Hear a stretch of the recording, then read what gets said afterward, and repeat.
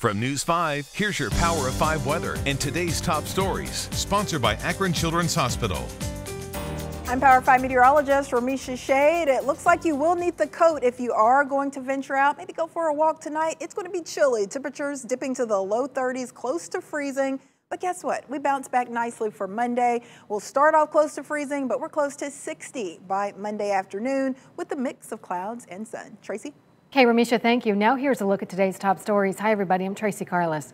The Prime Minister of the United Kingdom is in the hospital 10 days after he tested positive for coronavirus. A spokesperson for Boris Johnson says it's a precautionary step because his symptoms have just persisted.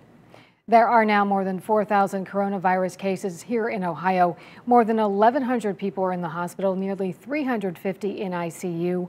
119 people have died, the biggest one day increase in our state so far.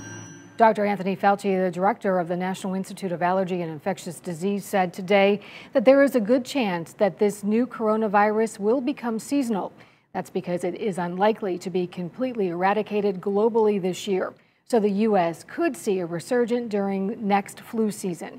He also says that states that don't have a stay at home order in place are putting themselves at risk. And a tiger at the Bronx Zoo has tested positive for coronavirus.